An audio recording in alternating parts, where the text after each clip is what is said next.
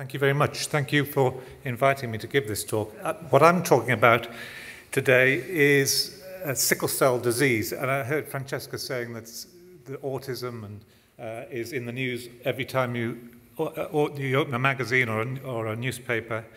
It's there. Sickle cell disease is not. Uh, particularly sickle cell disease in Africa, where sickle cell disease is most common. So I'll use this opportunity to mercilessly sell the, the, the plight of sickle cell disease in Africa and hope that this message will, uh, will resonate with some of the audience. Now, there are only three things you shouldn't do in a live performance. Working with animals and children are two of them, and trying to show a video is the third. Now, but I hope this works. Uh, so uh, just because this is a very mixed audience, most of you don't know much about sickle cell disease or, or its cause, which is malaria. I'll start off just by giving you a background of malaria. Malaria uh, in, is a, in, an insect-borne transmitted disease by, by mosquitoes. Uh, inoculated by uh, malaria uh, sporozoites, the disease goes on to multiply in the, the liver before spending most of its life cycle in the human in the red cell. So here you can see a, a entering a red cell, multiplying within the red cell. Uh, so it, it, multiplies to about 10 or 20 times. Uh, after 20, 48 hours, uh, it then uh, so it spends 24 hours hiding in the deep vascular endothelium here uh, before it's released into the circulation again to, to form the next uh, life cycle. Now, malaria is still a huge killer. Historically, uh, it has been the biggest killer in Africa. 50% uh, of children under five have historically been dying in the last 5,000 years, in the first five years of life. And the biggest cause of death uh, almost certainly has been malaria. So children with severe malaria, this is a child um, with cerebral, uh, cerebral malaria and severe malaria anemia, very sick child. Um, modern um, uh, medicine can reduce the mortality from these conditions to about 10%, but still that's a pretty high mortality. Historically, without any treatment, these, this, this would have been associated with extremely high mortality. So I've been working in this field for 20, nearly 30 years actually, and my, my first uh, entry into this was uh, uh, through applying in the back of a, uh, the Lancet to a small ad for a job in, in the South Pacific. And the advert was put in by this gentleman, a fellow of this society, who some of you probably know very well is David Weatherall. Uh, and he wanted uh, someone to go out to this, the Pacific islands of Vanuatu to, to work on um, the question of how malaria uh, and uh, whether, whether thalassemias, the, the red cell inherited disorder, thalassemias, protects children against malaria. This man here, who's JBS Haldane, uh, actually was, I noticed when I'm putting this talk together, a, a, a fellow of uh, University College London, judging from this year's competition, you wish you had a few more JBS Haldanes to join the society this year. Uh, he suggested in 1949 that um, that the thalassemias may have risen to very high frequencies because they protected against malaria. And it remained from 1949 up until 1992, when we went to the Pacific to try and uh, look at this question, that it remained unproven from the point of view of epidemiological studies. So uh, I spent three years in the, the Pacific Islands here of Vanuatu and a, and a particular small island called Santo, also uh, populated by smokers, just like David Weatherall, uh, where there's a very high frequency of thalassemia, alpha thalassemia in particular. Uh, I don't know whether you can spot me on the left there. That was, I know I haven't changed an iota in 25 years, but uh, I spent three years looking at uh, thalassemias and malaria and had discovered lots of very interesting things, but failed to prove that thalassemia was protective against malaria, largely because, uh, for a very interesting situation, not very many, although there's a lot of malaria in the South Pacific, not very many people get severe malaria, and there's very little malaria-specific mortality. So we were unable to, to prove the point in, in, uh, in the South Pacific, and it became very clear that in order to, to study malaria properly, you have to really go to Africa. I went to Kenya, uh, who I see are our close neighbours on the other side of the road, two doors down from the academy. uh, and to a research unit in Kilifi on the coast of Kenya, read, led by another smoker, um, Kevin Marsh, also a fellow of this society, very uh, successful uh, malariologist, who led the program in Kilifi for 25 years.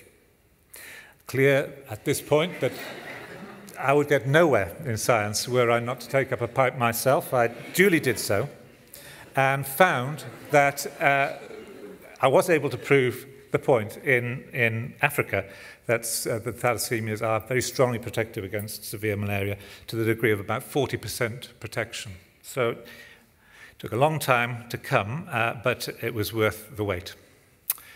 Uh, there's another non-pipe smoker, that man also a resident of Kilifi uh, for part of his scientific career. This is uh, Allison who was the first to uh, come up with the, the other malaria hypothesis, the hypothesis that sickle is protective against malaria. So he, he proposed this in 1954.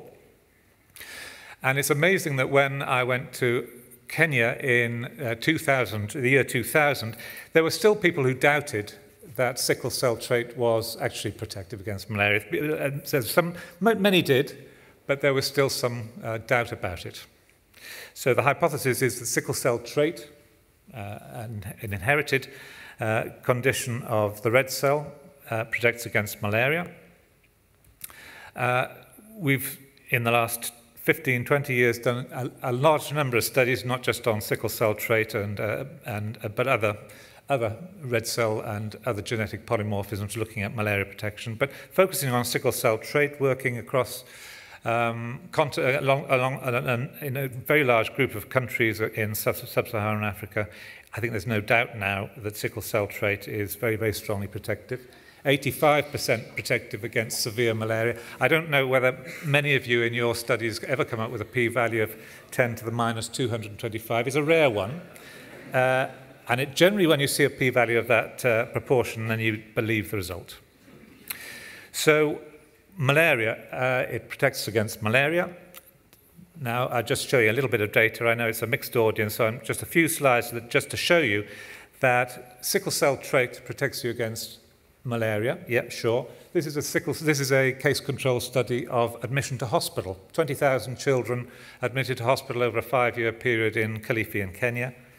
Sickle cell trait is 40% protective against being admitted to hospital. Clearly, the most strong effects are against malaria, so it's against about 85% protective against severe malaria and about 60% protective against uncomplicated malaria. But interestingly, very interestingly, it's also very strongly protective against being admitted to hospital with all sorts of other things, uh, including specifically bacterial infections that have got nothing to do with malaria. Why would, why would sickle cell trait protect you against invasive bacterial diseases? And the answer is that malaria is a very bad thing and it predisposes you to lots of other things. If you get malaria, you become malnourished. You, you can get uh, sequestration of malaria parasites in the gut and other places that lead to a breach in your intestinal mucosal integrity. So malaria is a very bad thing to have, uh, and you get rid of malaria and you get rid of lots of other things that go alongside malaria. And sickle cell trait, even today in studies that we're doing now where mortality is considerably less than 50%, is very strongly protective against all-cause mortality in the first five years of life. So this, in a cohort study of 20,000 children, and we've been following, uh, you're 50, 40% less likely to die if you've got sickle cell trait. So it's a fantastic thing it, to have if you live in that malaria endemic environment. Um, and it, it's, it's, um, uh, it's, it's just a, the strongest known uh, selective, uh, sort of protective uh, gene known to man. So the consequence of that is that lot, an awful lot of people in sub-Saharan Africa are born with sickle cell trait. 15 to 20% of children in most of that band across the middle uh, part of Africa where there's a lot of malaria are born with the condition. And the consequence of that is that about 1 or 2% of children are born with sickle cell disease. Now, this isn't such a good thing to have. Sickle cell trait is a tremendous good thing to have. Sickle cell disease is a very bad thing to have, particular, particularly if you live in a malaria endemic environment with lots of exposure to infections, etc.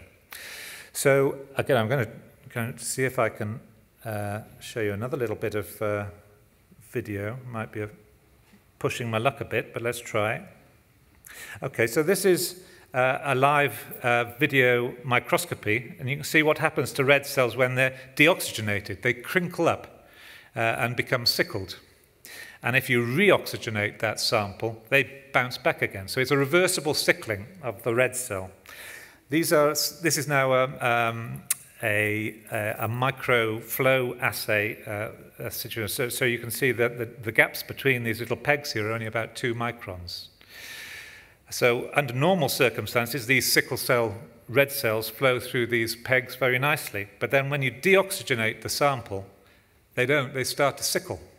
And they start to block off those little pegs. And the blood can't move through those pegs. So they cause a, a log jam. You can see on the end there. Then you reoxygenate the blood again, and the blood starts to flow through again. So this is happening in sickle cell disease patients all of the time uh, in their deep uh, capillary beds where the oxygen is at low concentration, the cells sickle and they cause chronic, chronic uh, organ dysfunction. Can cause acute problems with pain and uh, uh, particularly painful crises, but uh, chronic long-term problems where children are chronically anemic, they've got chronic pain, they get uh, a, um, a, an accumulation of end organ uh, damage. So sickle cell disease is not a very good thing to have. If you're born with sickle cell disease in London, uh, you are almost sure to live until you're 18. So there's very low mortality in this, these, and there are lots of data from the States, Europe, that show the same thing. We screen for it, we pick it up early, we put people on special treatments, and you've got a very low mortality in the first 18 years of life. In Africa, the situation is entirely different. You've got um, no routine screening for sickle cell disease. No one knows they've got the disease, and things happen in the background while, you, while uh, people die while, without knowing their status. We don't even know, because there's no screening and there's no um, active surveillance for this condition, we don't even know how many people are born. Uh, we tried to work this out a few years ago with a colleague Fred Piel here, who at that time was in Oxford and has now moved to Imperial, who used the world literature to map the gene frequency of sickle cell trait across the world. And it looks like this. This is a heat map of the population frequency of sickle cell trait. So the dark red bits are about 20% population frequency, and the lighter bits are about 5 or 10%. So what that translates to in terms of the global burden of sickle cell disease itself, the, the inheritance of the abnormal form of uh, sickle cell uh, that causes such problems, is the world map looks like that. You've got uh, almost all of the disease occurs in Africa and India.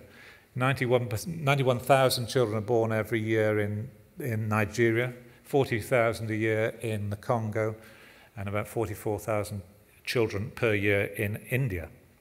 And in total, globally, about 200, uh, 330,000 children are born. So a third of a million children are born every year with this condition. Which, we don't, which is invisible in Africa because we're not looking for it, we're not testing for it, and people are not, it's not visible, and, it's nothing, and, and people are not, not concerned about it.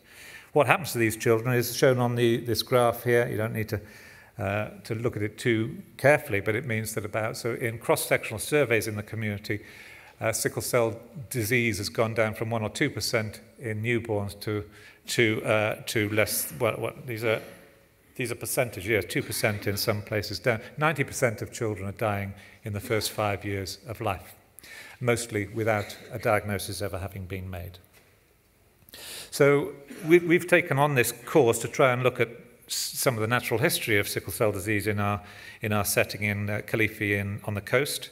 I've just uh, completed a study of 20,000 uh, consecutive admissions to the hospital.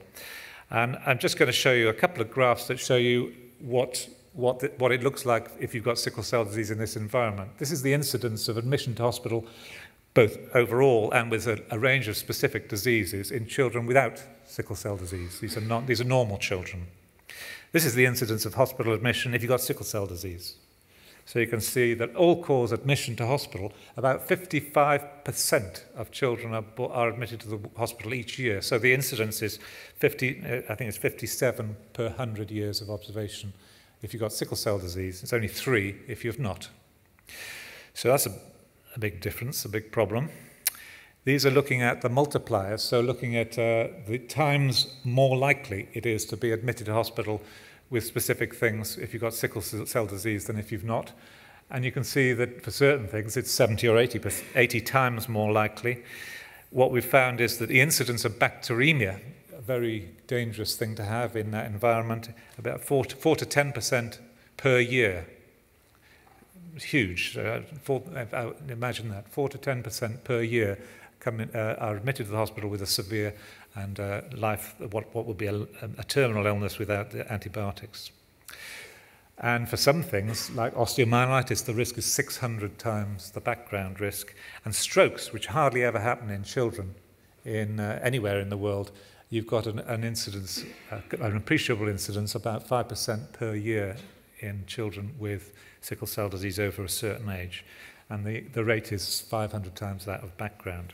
So this is a, a huge problem, in particular, things like severe anemia. I'll just show you some data. So about 20% of children, 20, 20 per 100 years of follow-up uh, admission to hospital with severe malaria, severe anemia, hemoglobin less than 5, mostly needing blood transfusion. In this, uh, in this area, uh, 30% of uh, sickle cell anemia admissions uh, have got severe anemia, and 10% of all transfusions given in this area are to children with sickle cell disease. Now, these are children who are 1% at birth, but are rather rare throughout most of their life, uh, the rest of childhood because of their high mortality. But they have a very high uh, requirement for transfusions. So this is a problem for children, it's a problem for the hospitals, it's a problem for, for the health system, and it's a problem for, for society. So we estimate now that sickle cell disease as a single condition is responsible between, for between 5 and 16% of all mortality in children under 5 in, in much of sub-Saharan Africa. I can see uh, we're being moved on, so I'll just come quickly to the end. The situation, whether we like it or not, is changing very quickly. So we're seeing uh, a very rapid diminution of all-cause mortality in many parts of sub-Saharan Africa. That, the, the, map, the, the graph for Kilifi, where I work, looks like this. In 1999-2000, when I arrived there, we had a, an under 5 mortality of 100. That's 10% of children born will die before their fifth birthday. That's now down to 20. Uh, in comparison, UK is about 5, so we're, we're moving down towards almost European levels of under 5 mortality in some areas. We can see that the um, the prevalence of sickle cell disease amongst children admitted to hospital as time has gone by has gone from rather low in that most children were dying to a lot of children surviving and it now representing 10% of all admissions to the hospital. I'm not a mathematical uh, modeler, uh, but I can draw a straight line and that's uh, what it looks like going forward. If you, in, in the next 10 years or so, we will have between 15 and 20 percent of admissions to our hospital will be with one disease. Now, that's a, a disease that's worthy of further study. Uh, and so I'll leave, it to, I'll leave it to that. I'll just leave you with a map here to show you the problem. It's a really big problem. It's a really silent problem. It's not something that people are talking about. And I hope to use my, uh, my position now in the society mercilessly going forward to, to promote it going forward. Thanks.